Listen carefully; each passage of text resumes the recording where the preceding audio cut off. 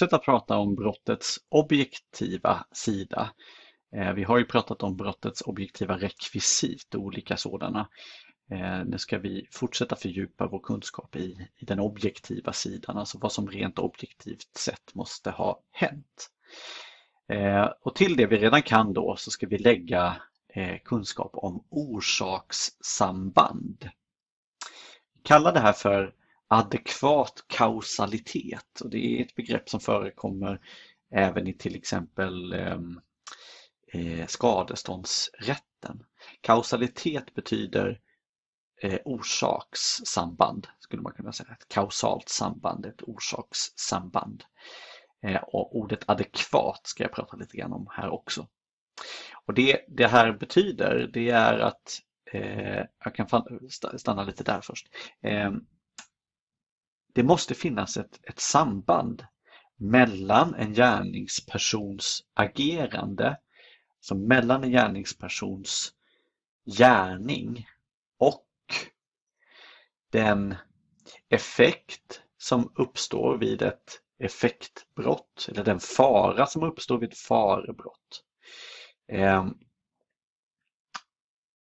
det måste alltså gå att koppla ihop det jag gör med, med den fara jag utsätter någon för eller den effekt som uppkommer. Och ja, vi, jag plockar fram det här så ska jag prata lite mer. Det räcker inte med eh, kausalitet, det räcker inte med, som jag sa nu, att det finns en koppling mellan det jag gör och det jag uppnår. Utan den kopplingen måste också vara adekvat. Det betyder typ, jag har försökt, eller vi har försökt här, att, att lite översätta vad det betyder. Passande, lämplig, rimlig eller typisk. Ordet typisk brukar jag nog oftast använda tror jag egentligen. Alltså det, det måste typiskt sett vara så att om jag gör detta då uppnår jag den effekten eller den faran. Eh,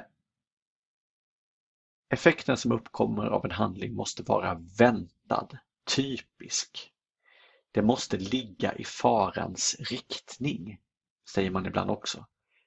Eh, alltså, om jag gör så här, då är det en, en överhängande risk för en viss effekt eller fara.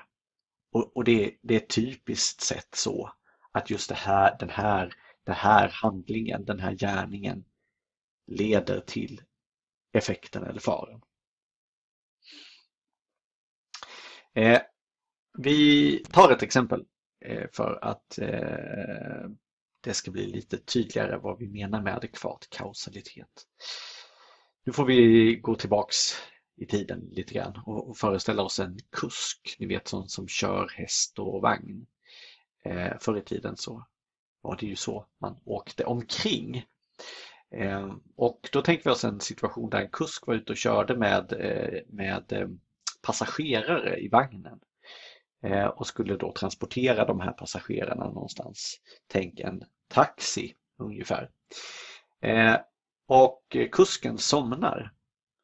Och det finns två vägar, det var ett väg, eh, en, en, en, en vägkorsning så här. Och hästen, passagerarna ska egentligen åt höger.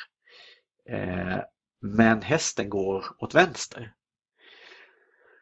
för att kusken somnat och inte kan leda hästen rätt. Liksom. Så hästen tar ju bara ett, en av vägarna här. Och det som händer är att det blir oväder och blixten slår ner i vagnen och alla som är i vagnen dör. Hade hästen tagit den väg som man egentligen skulle ha tagit dit passagerarna var på väg, om inte kusken hade somnat, då hade blixten inte slagit ner och då hade passagerarna överlevt. Men nu gick hästen fel väg på grund av kuskens eh, oaktsamhet att som, när han somnar här eh, och alla dör. Och då är frågan, ska kusken eh, eh, dömas för vållande till annans död? Ja, då börjar vi med att pröva det här vårdslösheten. Vållande till annans död är ju ett, ett, eh, ett oaktsamhetsbrott. Så här, kusken, uppenbarligen, det, det har vi, kan vi ju konstatera, kusken ville ju förmodligen inte döda eh, de här passagerarna. Det hade varit en väldigt konstigt sätt att planera att döda någon på. Att jag ska somna så att eh, hästen tar fel väg och då har jag räknat ut att exakt där kommer blixten slå ner. Eh, så att det hade varit svårt för en åklagare tror jag att styrka uppsåt i det läget. Utan vi får sikta in oss på oaktsamheten att somna vid, vid tyglarna. Och har kusken då varit oaktsam eller vårdslös? Absolut, det tror jag att vi kan vara överens om. Man ska inte somna när man kör passagerare. Men har det funnits ett adekvat, ett typiskt orsakssamband mellan att han somnade och att passagerarna dog? Nej, eh, att blixten slår ner brukar inte, det är inte typiskt sett så att bara för att jag somnar vid tyglarna så slår blixten ner och passagerarna dör. Alltså, det har inte varit ett adekvat orsakssamband. Det har inte förelegat adekvat kausalitet mellan den vårdslösa handlingen här att somna vid tyglarna och effekten död genom blixtnedslag. Så här skulle man då förmodligen komma fram till att nej, eftersom det saknas adekvat kausalitet så kan kusken inte dömas för vållande till annans död.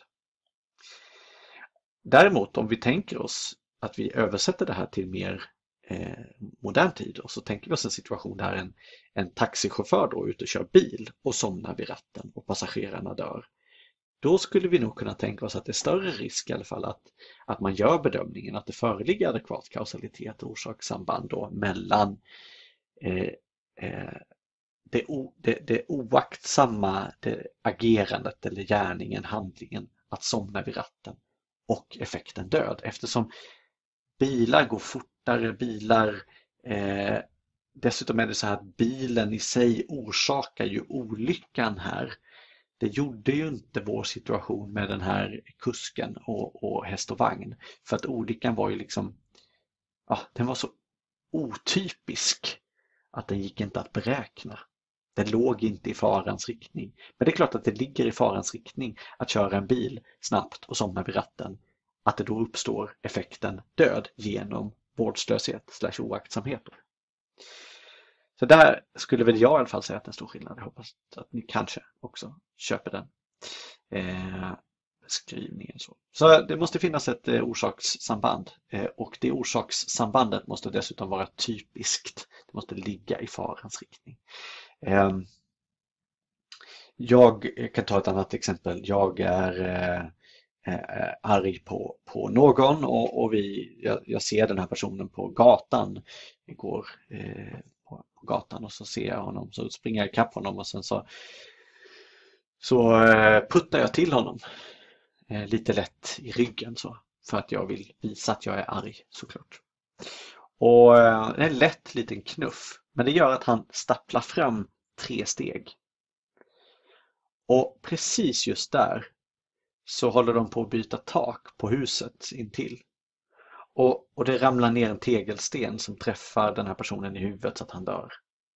Har det funnits ett, ett typiskt orsakssamband, en adekvat kausalitet mellan gärningen, handlingen, att putta någon löst i ryggen och effekten död genom tegelsten i huvudet?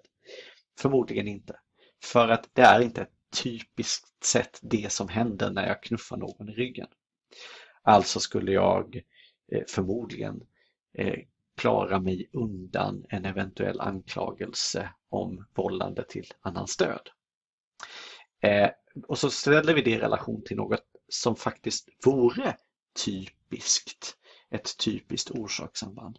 Personen i fråga går inte på en gata utan personen i fråga står längst ut på kanten till ett stup och jag springer fram och ger personen i fråga en knuff i ryggen. Vad är det typiska som händer när jag ger någon en knuff i ryggen lite löst? Jo, det är att den tar minst ett steg framåt för att inte ramla. Och det räckte ju i det här fallet för att personen i fråga står precis på stupkanten och trillar. Då har jag ju orsakat den här människans död på ett typi, genom ett, att mitt agerande typiskt sett leder till död i det här fallet. Och då är ju frågan huruvida jag har varit oaktsam eller om jag haft uppsåt såklart. Eh, där skulle man väl förmodligen sikta in sig på att jag har haft uppsåt eftersom det verkar ju ganska troligt att jag ville döda personen i fråga. För jag måste ju faktiskt ha förstått, det ska vi prata om i en annan del här, eh, när vi pratar om brottets subjektiva sida. Jag måste ju faktiskt ha, ha, ha eh, åtminstone måste jag ha har, har förstått att personen i fråga kommer dö. Sen om det var det jag ville eller inte, det kanske i så fall spelar lite mindre roll, men jag måste ha insett att så faktiskt kommer bli fallet. Det där var adekvat kausalitet, alltså orsaks, typiskt orsakssamband mellan det jag gör och den effekt eller den fara som uppstår.